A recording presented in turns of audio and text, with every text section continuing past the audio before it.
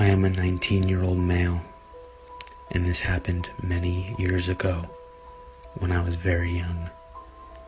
To give you an idea of the layout of our house back then, the living room has multiple windows that directly look out onto the back garden.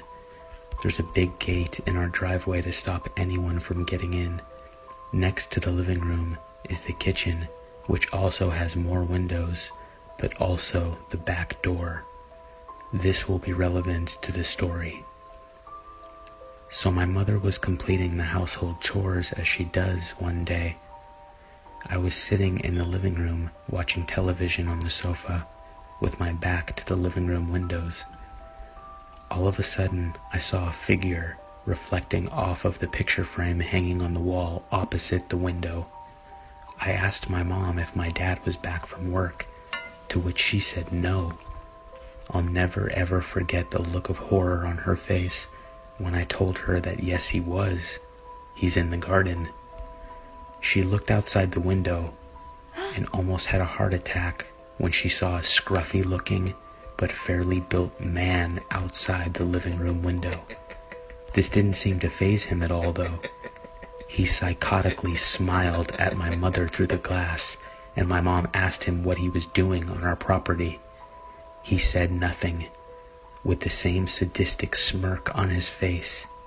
She said that she was going to call the police, and what he said is one of the scariest things I've ever heard. He screamed at my mother through the glass that if she even got her phone out, that he would break the glass. She did not know what to do. She paused and tried to rapidly think of what to do next, how to keep us both safe. She wanted to protect me by calling the police, but she also didn't want him to hurt me if she did try to call them. As soon as he saw that she was terrified, he ran for the back door. Luckily, it was locked because my mom has always been a paranoid person, so she always locks the doors. He screamed at her to let him in, or if she didn't, he'd find a way in and kill us both.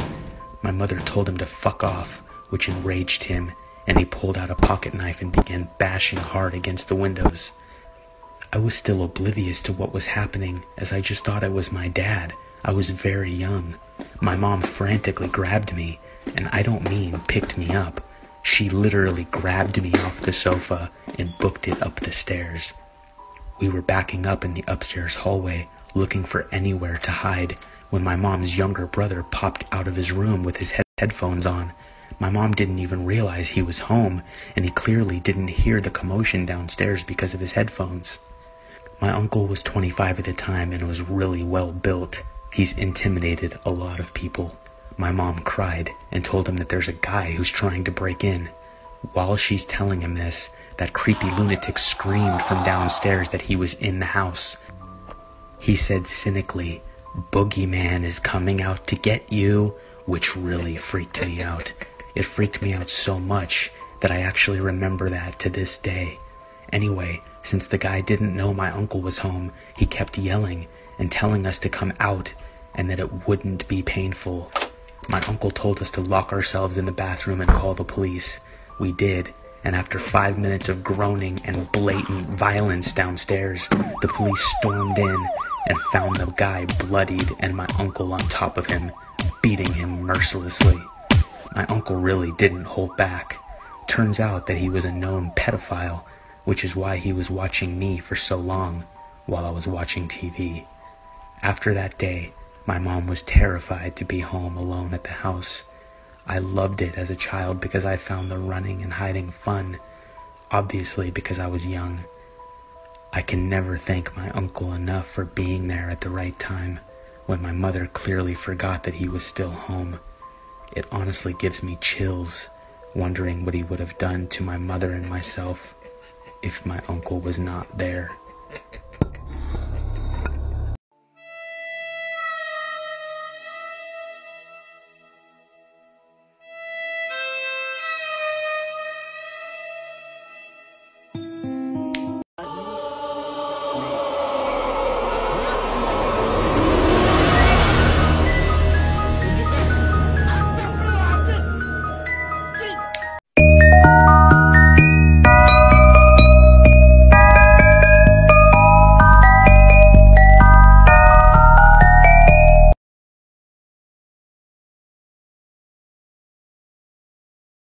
Scary facts you didn't know about.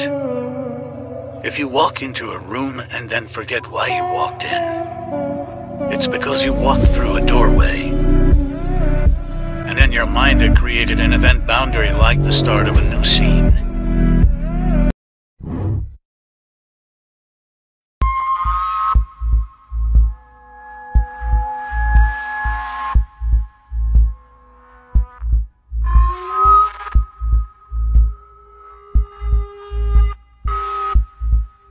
Scary stalkers caught on camera. This 2018 footage shows a woman setting up a security camera after hearing weird sounds outside of her bedroom window. The recording shows a man she had never seen before walking up to her bedroom window and try to look inside. After a few seconds, the man would notice the camera and quickly walk away but shortly after, he would return and steal the camera. The woman believes this man that she caught on camera had been looking into her bedroom window for at least three weeks.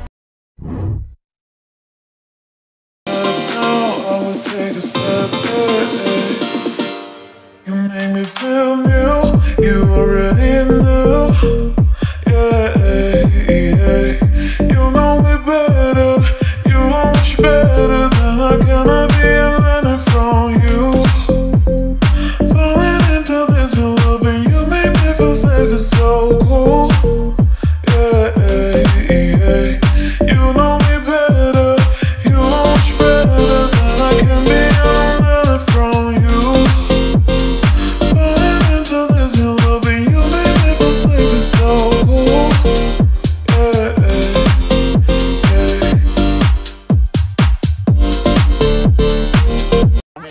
my neighbor to the mystery party and am now in the woods following a guy in a hazmat suit.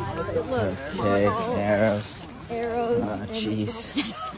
oh, jeez. My new neighbor texted me, you gotta come to this party. I can't tell you anything about it, but I promise it's like something you've never experienced before and it's outside. So I was like, okay, it's either going to be pumpkin carving or like eyes wide shut. Don't know. Okay, cool. What's the address? She was like, you can follow me. Yeah, that sounds good. We should do that. And my partner is wearing contact lenses for like the second time. And they realize halfway through the drive, which has been like 20 minutes, that they can't really see. We get to the party. First thing we see is a guy in a high priest sort of devil costume. And he's like, I gotta splash you with this holy water. Second thing that happens is I get a snack because it's an outdoor party and there is a tent um, with like some hot apple cider and it was delicious. I meet the host. I'm like, hey, my new neighbor brought us and she says this is going to be like unlike anything we've ever experienced and she couldn't tell us anything else. And the host was like, good. She did exactly what she was supposed to. This is just going to be a normal party where nothing weird will happen. Third thing that happened, there's a four-year-old dressed like Pennywise. That's unrelated to the story, but just thought you would want to know. It's like an hour into the party, and all of a sudden, like half the attendees' phones go off. I don't know how they did this. There's a voicemail. The voicemail says that it is from the police department and that they're looking for a six foot white male last seen on this road that this party was on then there's a text that comes through, and the text says it's from the town. I don't know how they did this. It's the same thing. And another hour goes by. Gotta make a part three, sorry.